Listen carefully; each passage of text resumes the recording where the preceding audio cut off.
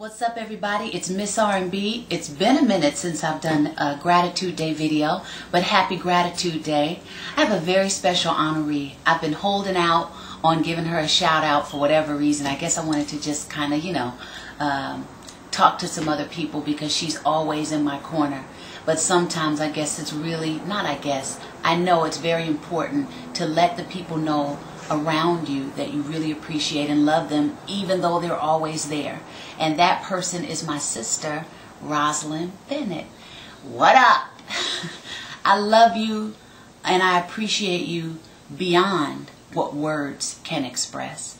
Um, I know that you are one of my number one fans, and if I ever need you, you have my back, and that is priceless. So I just wanted to send the hugest shout out to my sister for being a wonderful person to me, and I love the fact that our relationship continues to grow and become even more fabulous as we get older. So I love you, I appreciate you, and I thank you from every part of me.